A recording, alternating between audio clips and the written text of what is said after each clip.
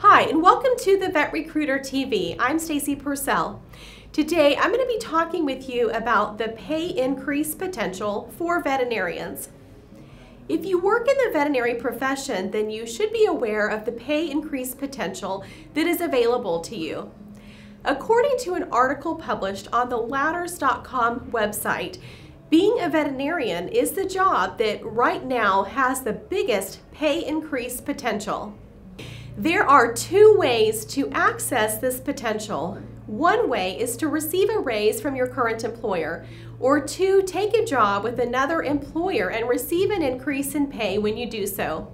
Now, when an employer hands out raises to its employees, those raises are typically 2 to 3% tops. However, when a person changes jobs, the percent increase that they receive is usually 5 to 10% and sometimes more. This is especially the case in the veterinary profession. The fact of the matter is that people who change jobs every three to five years earn more in compensation and benefits than people who stay at the same employer for longer periods of time.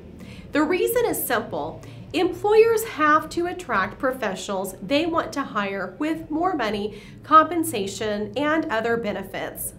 This is why it's important to be willing to at least consider hearing about other employment opportunities. After all, if you discover that an opportunity is not clearly better than the job you currently have, you can simply stay where you are. But if you don't at least explore other opportunities, then you'll never know what is out there and what is available to you. The veterinary profession has huge pay increase potential right now. However, the only people who can access that potential are those who are willing to consider new opportunities and explore those opportunities. Thank you for joining me for the Vet Recruiter TV. I look forward to seeing you again soon.